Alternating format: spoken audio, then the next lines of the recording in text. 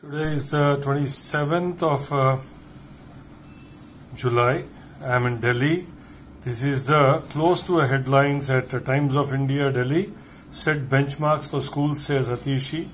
She urges to increase the uh, curriculum standards, increase the the patriotism factors in the students, so that the students and the teachers can develop a good ecosystem in developing this country.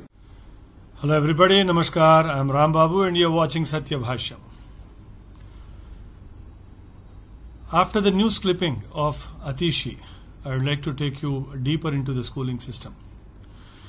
गुरु गोविंद दो खड़े काके लागू पाए बलहारी गुरु आपने गोविंद दियो बताए This is a famous uh, uh, doha from Kabir's uh, poems. In this, uh, he awakens us or he teaches us of who is important when both the God and the Guru stands in front of you. Whom will you go and touch the feet first? He further clarifies that Guru is the one who has introduced God to you. And to recognize God, it is only through the Guru we do that. Hence, Guru is on an upper pedestal than the God himself. Why are we talking this?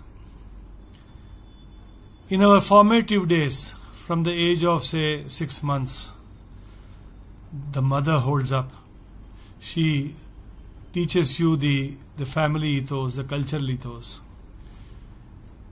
she really shows you the world around. And then the father's turn comes after, say, 11 months or 12 months, where he holds your hand.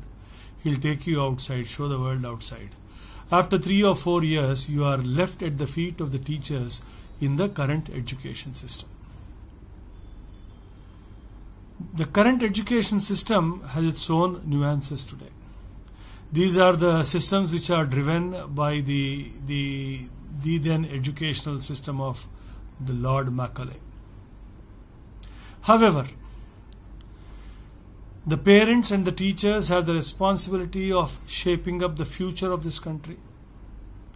And the future citizens of this country, who are the, the students who join the school systems from the nursery to the technical education that they are imparted to. So they spend almost 16 years at the feet of various teachers. In the process, they learn so many things of life. The responsibility of the schools is to shape up the student with the cultural ethos of this country, the historical stories of this country, which has brought in the, the beautiful stories like historical stories like Ramayana, Bharata, and Bhagavata, where we have so many role models to go through with, to take up with. Here it is uh, uh, praiseworthy to understand how the Japanese shape up their children from the day go. The Japanese schools does not conduct any examination for the first three years of the schooling, which means they do not discriminate uh, the children with respect to the grasping power or the uh, the reproducing power in, in in the form of exams. All the students across the school have common meal, which only tells that all of us are equal at the table of uh, the food.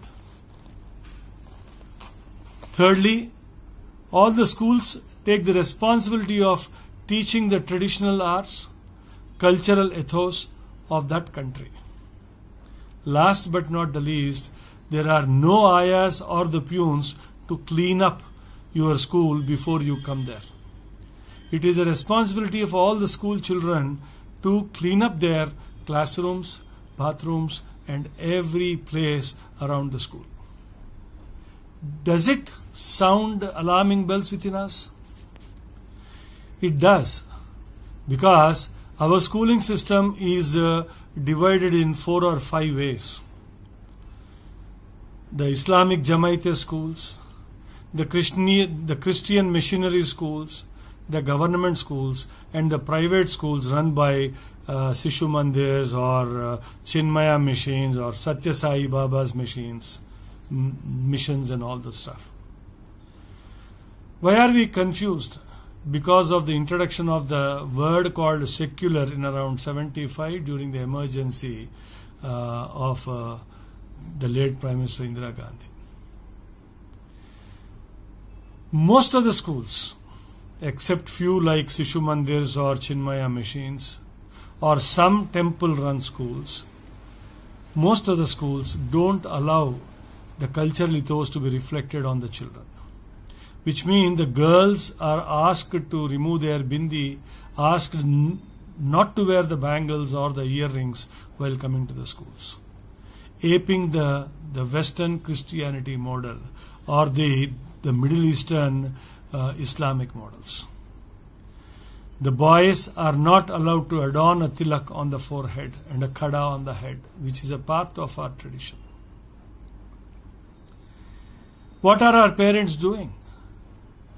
When 80% of the school, should it be a missionary, should it be a Jamaat, most 80% of all the students are from the majority uh, community. Is it not the responsibility of the parents to go talk to the principals or the headmaster or the, the secretaries of the schools to allow and to force them to educate the, the, the majority population than just adhering to their Abrahamic norms? And also, there are so many questions which we want to raise on the education system itself.